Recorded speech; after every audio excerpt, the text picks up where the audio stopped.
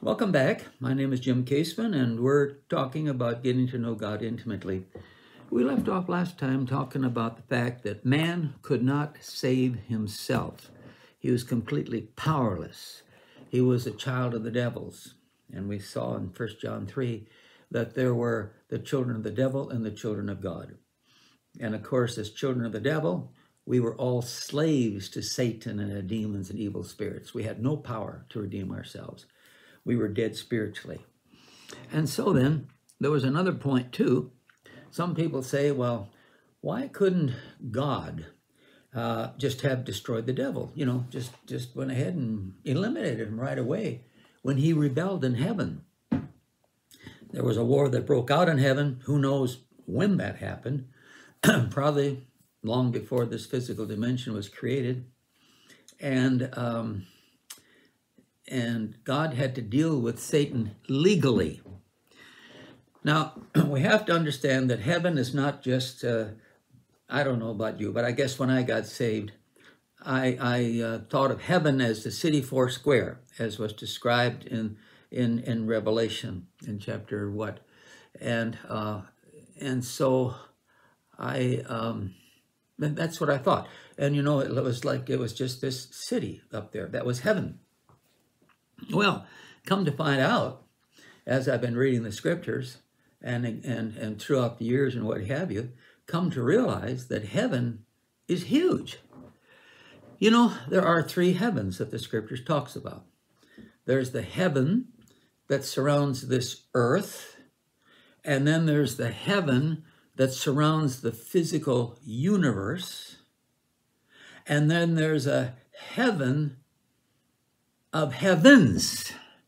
Now that's plural. So there's more than one heaven, obviously. And there's the heaven of heavens. And uh, for example, you know, I come back here to Second Chronicles and pick it up in chap- chapter 2 and in verse 6. But who is able to build him a temple since heaven and the heaven of heavens, plural, cannot contain him? Well, then, as long as I'm back here, I suppose I can back up to 1 Kings chapter 8 and verse 27. But will God indeed dwell on the earth? Behold, heaven and the heaven of heavens, plural, cannot contain you. How much less this temple which we have built. And so, heaven is huge. Now, we get a little bit idea of it when I said there's a heaven that surrounds the physical universe. Now, in this physical dimension, we have what's called a Hubble scope, which is out there orbiting the Earth. And with that, we're able to see out into the physical universe. Now, the last time I read one, and this is some years ago, with the Hubble scope, we could see 34 billion, that's B, like billion, bravo, like billion, 34 billion light years out. Now, a light year is as fast as light travels in one second.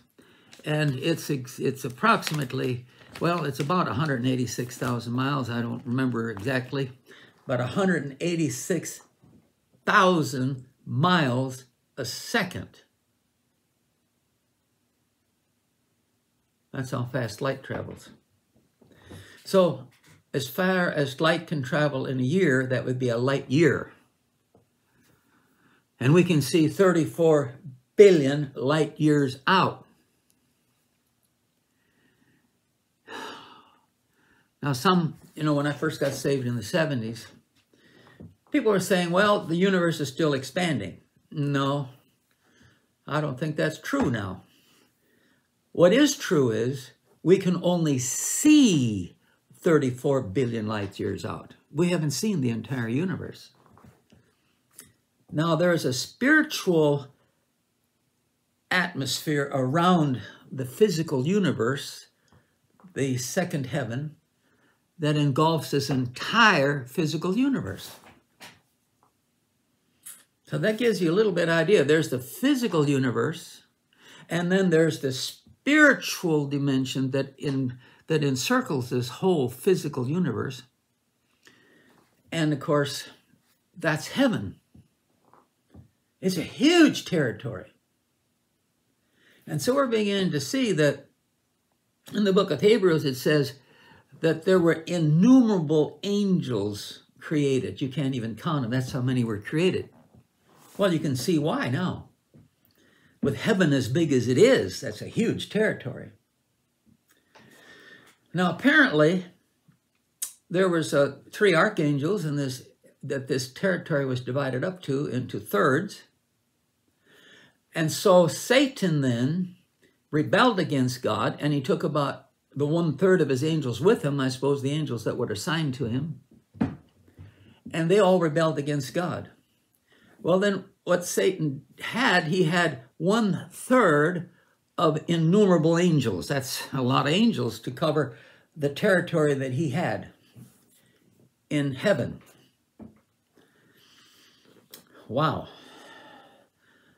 So uh, Satan then actually broke away from God and created his own nation, if you will. It's kind of like in this physical dimension. See, nothing's original.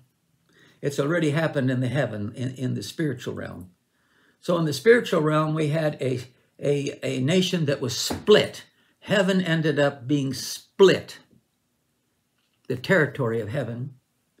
And so nation then, uh, Satan rather, evil dictator, rebelled from God. He's a spiritual criminal, but he has a separate nation that he now is the head of. Now that would be like in this physical dimension.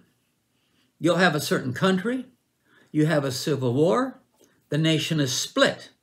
Now you have two countries or two nations. One of them may be headed up with a, with a, with a godly ruler, and the other half of it headed up with an evil dictator. But yet he has a right. I mean, it's his nation. He's evil. He's got his people there. And basically, in this natural realm, nothing is done about it unless it really gets bad. And of course, he's really uh, uh, negligent of, um, you know, just of how he treats his people and everything else. And then, of course, nowadays you have the United Nations, and they might decide, well, you know, I think it's time that we need to remove this dictator. He is just altogether too evil, tormenting people, or whatever it might be. Well, that is, uh, uh, but God then, he has to treat Satan legally. He just can't up and throw him out. It's got to be done legally. Well, I uh, beginning to believe that I, you know, I don't have any scripture for it. But when I look at the big picture, God and his patience, he already had, now you're going, coming back to mankind now. All of man has sinned, and you could say, well, why couldn't just God, you know, kick out the devil and and what have you, and get rid of him, and and let it all be over with, and we could all go to heaven. Well, he's got to do this whole process legally.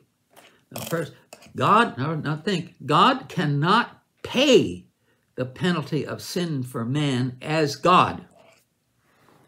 God just in cold, oh, says, God says, well, I'm just going to go as God. I'm going to pay the penalty for mankind and it'll all be over with. He can't do that because that would be illegal because God did not sin. Man sinned not God. So God was going to have to uh, uh, figure out another way for man to be redeemed because he can't do it as God. Well, he figured out another way. Before the beginning of time, God purposed in his heart that he take on the form of a human being literally in every respect.